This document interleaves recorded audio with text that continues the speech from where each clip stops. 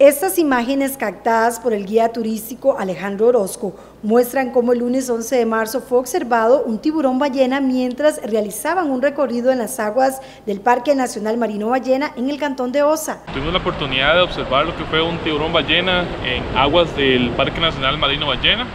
Nos encontramos en un tour de observación de delfines cuando los demás compañeros nos reportaron que estaban avistando un tiburón ballena y nos desplazamos al sitio y efectivamente había un tiburón ballena el cual estaba nadando cerca de las embarcaciones. Entonces procedimos a, observarlo.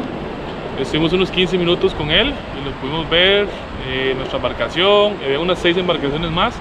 Tuvimos la dicha de poder observar este tiburón ballena que no es tan usual de ver en estas aguas del Parque Nacional Marino Ballena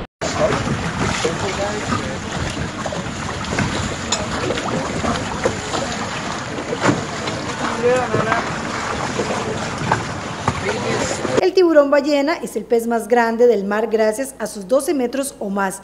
La cabeza aplanada del tiburón ballena luce un hocico romo sobre su boca, con pequeñas barbas que sobresalen de las fosas nasales. Su dorso y laterales son entre grises y pardos, con manchas blancas entre rayas pálidas verticales y horizontales, y el vientre es blanco.